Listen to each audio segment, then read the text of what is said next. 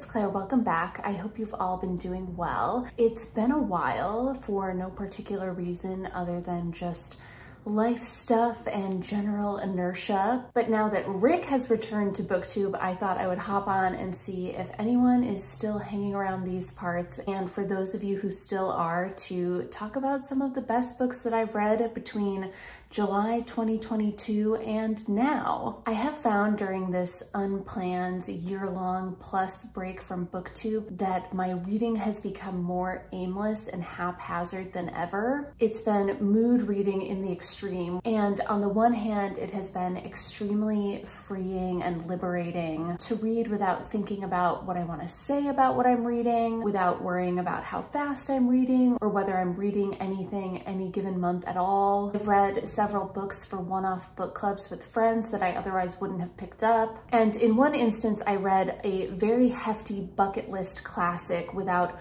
worrying about how long it was gonna take me or whether or not it was detracting from the rest of my reading life. Giving into that flexibility and inertia in my reading life has been really wonderful in a lot of ways, but I have also gotten out of the habit of thinking deeply and critically about what I'm reading. And I do think that my reading life has been less rich and less rewarding because of that. I've read far more forgettable books in the last year, and not because the books themselves are inherently less memorable, more because after I've put them down, I have simply not spent any time thinking about them. And in instances where I have started to think about a book, either in a book club discussion with friends or in many an abandoned Google Doc with a sort of half-written book review in it, I've found that I've often abandoned those trains of thoughts before I've really cracked what I'm trying to understand or grasp about a book, which is something that I have missed about BookTube and have been wanting to get back to. I think there have also been points in the past few years where I felt burned out on BookTube or motivated by the wrong things. And now having had some time away, I feel like I have finally circled back to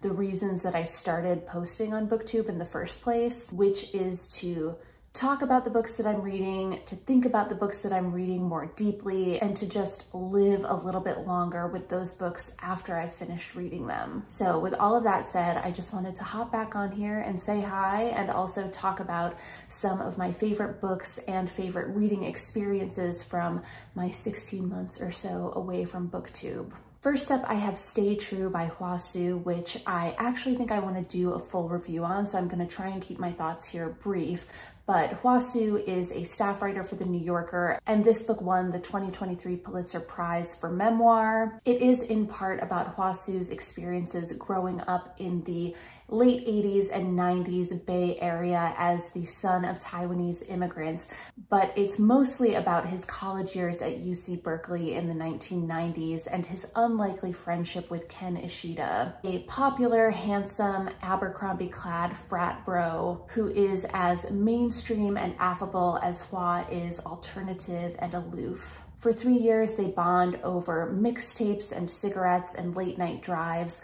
winding conversations about girls and TV and their burgeoning theories of Asian American identity. But the summer between their junior and senior years, Ken is killed senselessly and violently in a carjacking. And so Stay True is not just a book about male friendship and music and California in the 90s. It's also a book about youth and loss and world-ending grief and about the meaning that may or may not be found in old photographs and archives, in writing and memory and the stories we tell ourselves. I found Stay True to be a profoundly moving book and one that haunted me for a long time after I finished reading it. It is one of the best, most resonant depictions of college friendship that I have ever read, and it offers an incisive consideration of the uncertainties and the unknowability and the kind of unsteadiness that can exist within friendships more so than in other kinds of bonds. It also looks at the slipperiness of trying to eulogize or memorialize a person who has passed, particularly a young person who was still a work in progress and full of promise that was never realized. It looks at how trying to capture the memory of a person can at times inherently be at odds with the fluidity and amorphousness of life as it is actually lived and experienced. It is such a stunning, remarkable, and gutting book. I truly cannot recommend it enough. Next up, I have Romantic Comedy by Curtis Sittenfeld, which I also loved for very different reasons. I will admit that I approached this novel with some trepidation because Curtis Sittenfeld is an author who is known for writing at the intersection of literary and commercial fiction, and she is notably not a romance writer. And so I was worried that she was gonna do that thing where she tries to capitalize on the popularity of the rom-com brand that's happening right now and try to elevate the genre and make it smarter while failing to fulfill any of its promises. Think all those indie movies from the 2010s that called themselves indie romantic comedies or movies about what happens after the happily ever after and kind of position themselves as inherently smarter and better than the rom-coms of the 90s and early aughts. That's what I was afraid this book was going to be, but fear not, I am thrilled to report that romantic comedy is a true blue romance novel that hits all of the beats of the romance genre. We've got a meet cute, we've got banter, we've got a normie dating a celebrity, and on top of that, Curtis Sittenfeld accomplishes what all of those indie rom-coms could not, which is that she captures the experience of falling in love and some of its less glamorous attendant details with a certain degree of grounded realism. But she's able to do that without sacrificing the fizziness and the fantasy and the heightened emotions of the romance genre. This novel follows Sally Milz, a writer at an SNL-esque late night comedy show who writes a sketch called The Danny Horst Rule, where she skewers all of her schlubby male coworkers who end up dating hot actresses or pop stars who guest host the show. Think Pete Davidson and Ariana Grande, Emma Stone and her random SNL writer husband who is not Andrew Garfield. The joke of Sally's sketch is that you would never have that situation with the genders swapped until, of course, Noah Brewster, a global pop singer-songwriter superstar,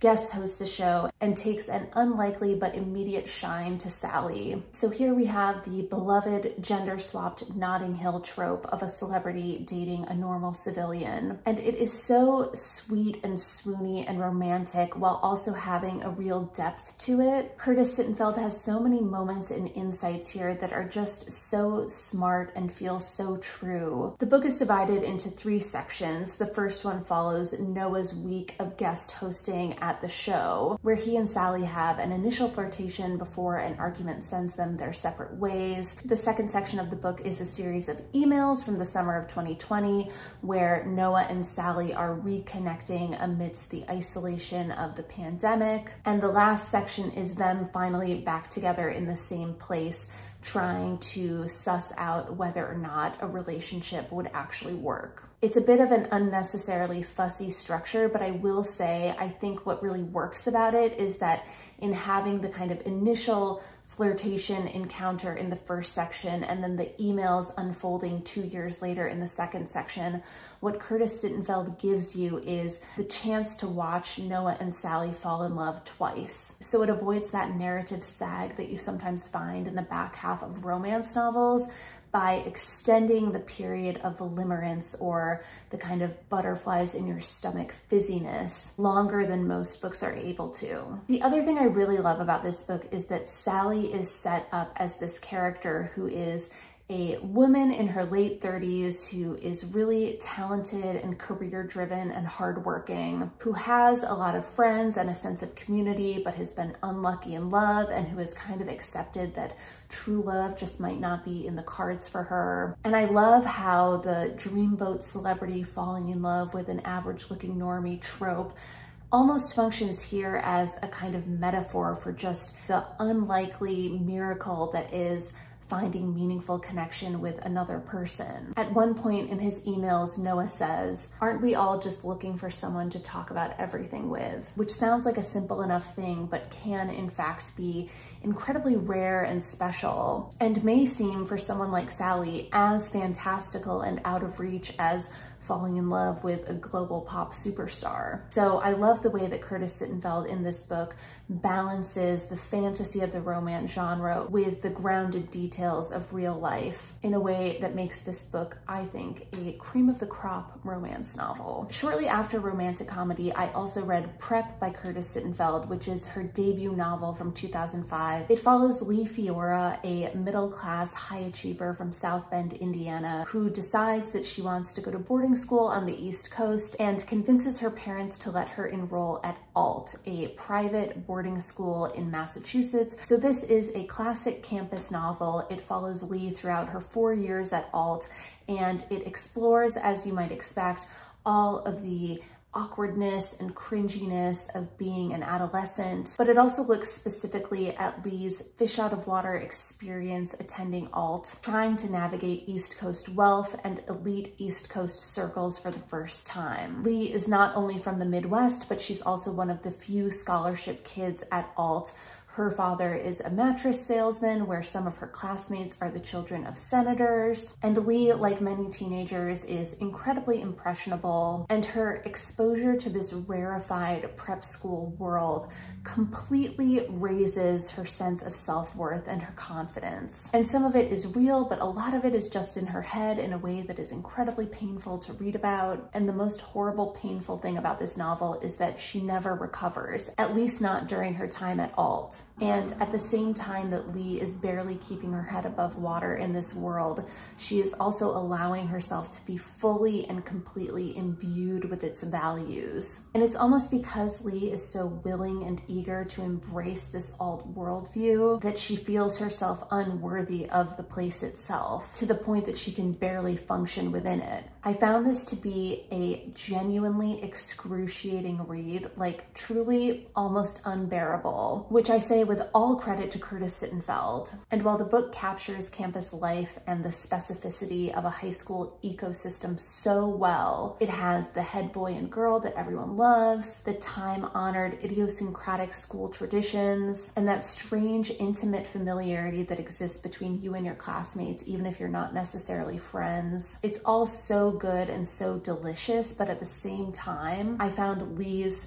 passivity and her inability to thrive in this East Coast elite academic setting so painful. It reminded me too acutely of going to college on the East Coast myself. And I have to say, whatever it was that Either Or by Elif Batuman healed with regard to my feelings about my university years, Prep by Curtis Sittenfeld destroyed and undid all of that good work. So hats off to you, Curtis, for that. I also want to mention Tom Lake by Ann Patchett. This is my first Ann Patchett novel, despite having purchased several of her books in the past for the older women in my life. I do think I regarded her books in my own head as kind of older mom book club fiction. I still kind of think of them that way, fairly or unfairly, but I did really enjoy Tom Lake. I read it in about two days, which for me is very fast, but then I proceeded to completely forget about it. And it's only in doing this video that I am now thinking about it again and remembering all of the kind of warm and cozy and contented feelings that reading that book gave me. This novel is set on a cherry farm in northern Michigan in the spring and early summer of 2020. Another pandemic novel for this wrap up. Lara, our protagonist, is busy harvesting cherries with her husband and her three adult daughters, all of whom have come home to the farm during this period of isolation during the early pandemic. And as they pick cherries and lay in the grass and eat and make dinner together every night, Lara's daughters implore her to tell the story from an earlier season in her life in her early 20s when she spent a summer doing summer stock playing Emily in Our Town and had a summer romance with Peter Duke, who would go on to become one of the most famous and beloved actors of his generation. And I have to say, Tom Lake is really a masterclass in how to take a quiet literary novel and make it commercial. Lara as a character is basically a blank. She's a cipher. She has no personality that I could discern, but surround her with a dreamy Northern Michigan setting in both timelines and give her this hot romance with a future Hollywood star and you're good to go. Ann Patchett also does this thing where she withholds and then parcels out crucial pieces of information as Lara tells her story. So you'll find out that so-and-so from the past storyline is actually so-and-so in the present day storyline. And so she builds in this subtle cozy sense of mystery into an otherwise pretty straightforward story. She also smartly gives the handsome future Hollywood star an even hotter and more appealing older brother who everyone literally calls Saint Sebastian because that's how good and dreamy and decent he is, which in my opinion is straight out of the YA playbook. So well done, Ann, for that. I too was in love with Sebastian. And I actually went to a talk with Ann Patchett recently where she said that she almost wrote the book from Sebastian's perspective, which is interesting to think about if you've read the book. I found the ending and elements of it a little bit too tidy and unbelievable. And again, I don't think there's a whole lot here that you need to sit with and meditate on, but I have already bought several copies for friends and family members. I think this is a pretty guaranteed good time. Changing things up a little bit, I also read The Tenant of Wildfell Hall by Anne Bronte last fall when I was on a trip in North Carolina hiking amidst the fall foliage, which I have to say is a pretty great backdrop for reading a Bronte novel. This was my first Anne Bronte novel and I really enjoyed it. I can't say it has remained lodged in my soul in the same way that Charlotte Bronte's novels have, but I was surprised at what a page turner it was and how lively and energetic Anne Bronte's writing was. I think I was harboring an unfair assumption that Anne is the boring or moralizing Bronte sister. The Tenant of Wildfell Hall is technically a temperance novel and Anne Bronte is certainly engaging with the social and political context of her world much more directly, I would say, than Charlotte or Emily do in their novels. So perhaps that timeliness is part of why Anne's novels have proved less enduring and less timeless than her sisters, but it also distinguishes her work within the rest of the Bronte oeuvre. She's like, in my novels, you're not gonna be haunted by the ghost of a former lover. You're gonna be haunted by 19th century English divorce laws. The Tenant of Wildfell Hall is a frame narrative, the outer frame being narrated by a young gentleman farmer named Gilbert Markham, who becomes enamored with an enigmatic and antisocial widow named Helen Graham, the titular tenant of Wildfell Hall, who moves into the neighborhood with her young son. And that outer narrative, narrated by Gilbert, is almost an Austen-esque romantic comedy of manners, which then gives way to the more harrowing story of how Helen came to be at Wildfell Hall. That comprises the inner narrative, which runs about 250 pages in the middle of the book and is made up of entries from Helen's diary that she gives Gilbert to read to kind of explain her circumstances. And that diary chronicles her disastrous marriage to an alcoholic and abusive man named Arthur Huntingdon and her attempts to escape that situation. So this book really has it all, mystery, suspense,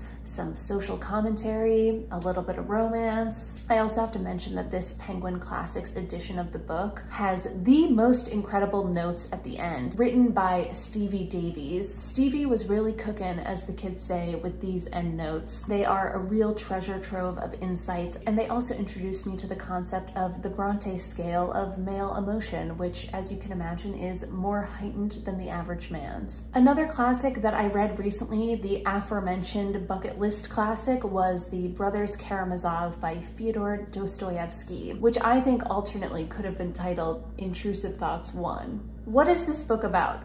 Good question. It's about men, specifically fathers and sons, which normally I would say is not my business. It's about religion and philosophy. It's about inheritance in more ways than one. It's about Russia in the years after the freeing of the serfs. It's about 19th century Russian identity, especially as it relates to Western Europe. It's about a murder, supposedly.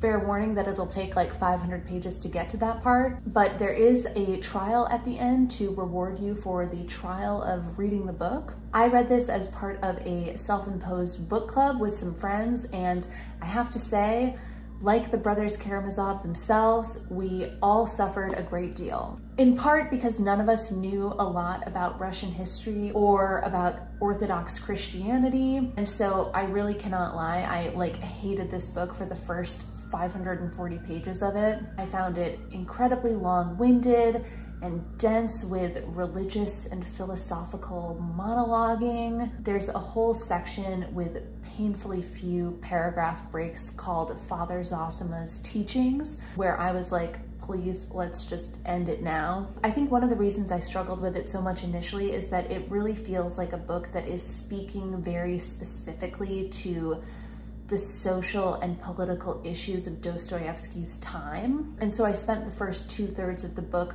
trying to find a foothold in the story and trying to identify what about it was resonant with or relevant to my own life and concerns as someone who admittedly does not spend that much time thinking about sin or ecclesiastical courts. So I do think this is the kind of novel that strongly benefits from reading it in a classroom setting, or if that ship has already sailed for you, from trying to supplement your already onerous reading experience with podcasts and articles that will help contextualize the book and kind of ground you more firmly in Dostoevsky's life and times. All that said, I will say Dostoevsky really turns things around in the last 200 pages or so of this book, namely because he remembers that there is a plot and storyline that he is trying to execute. I also think that while the first half of the book spends so much time plumbing the realms of the religious and the philosophical and the political, the back half of the book or the last third at least, brings that all down to earth a little bit and focuses in on the characters and relationships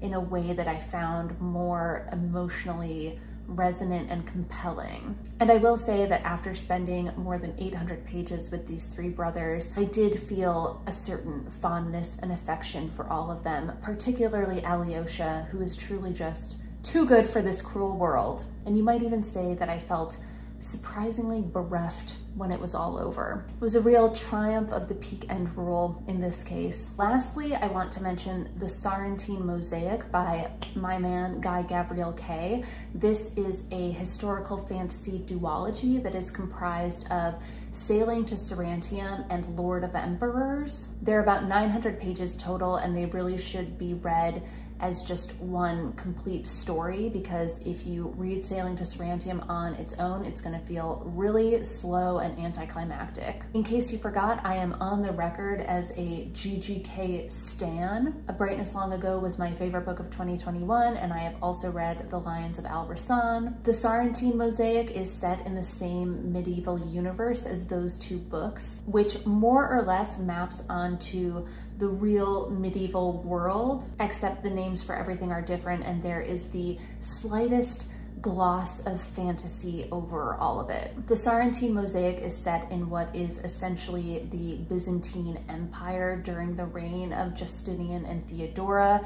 In these books, Byzantium is called Sarantium, and the story follows a master mosaicist named Crispin who is grieving the loss of his wife and daughters in his plague-ridden hometown in Italy when he is summoned by the emperor to travel to Sarantium to design and decorate the dome of the great sanctuary that the emperor is building there. Then, as is the case for many a GGK hero, Crispin finds himself caught up in the affairs of the great men and women of his time, from the emperor and the empress to the city's most celebrated and sought after dancers and chariot racers, to an alchemist whose connection with the half-world suffuses this series with a subtle kind of magic. One of my favorite things about Guy Gavriel Kay's books is the way that he world builds, and particularly the way that he builds a deep sense of religion and culture and history within his books. Religion features prominently in many a Guy Gavriel Kay book, but even more so here. And I love the way that these books specifically look at the eastern and western branches of the Jaddite religion, which is his version of Christianity. I love how he looks at how religion functions politically, how it serves as an engine for art and culture, how the Jaddite god is rendered artistically in the west versus in the east. There's this incredible scene where Crispin, as he is making his way to Sarantium, stops at a roadside chapel and sees for the first time a mosaic dome that interprets the Jaddite god in the Eastern style and the Eastern tradition. And he is literally brought to his knees by the beauty and force of that image. Related to both religion and art is also this series interest in legacies, the legacies of empires and emperors, the legacies of artists and charioteers and individuals. And this is really where Guy Gavriel Kay excels at capturing contrasting senses of scale in all things. So he'll do this thing where he is able to capture a grand, heroic sense of scale, while also within that scene setting, reminding you of the relative smallness of individual men and women's lives. And he'll do that sometimes by narrowing in on a specific character and telling you in a few brief sentences what they will accomplish in their lifetime and what their life and legacy will amount to. He'll also include things like a brief cutaway scene where you see uh, a man being sent into the desert miles and miles from Sarantium. And in that brief moment, you'll glimpse and be reminded of the inevitable rise and falls of cities and religions and civilizations, of the ultimate smallness not only of individual men's ambitions, but also sometimes of the ambitions of an entire empire. Anyway, I loved this series. A Brightness Long Ago will always be my favorite Guy Gavriel Kay book, but these two books together are a close second and I can't wait to read more of his stuff. That's all I have for now. Let me know if you, like me, still exist and what you've been reading for the last 15 or 16 months. As always, thanks so much for watching and See you next time. And I promise that will be sooner rather than later. Bye!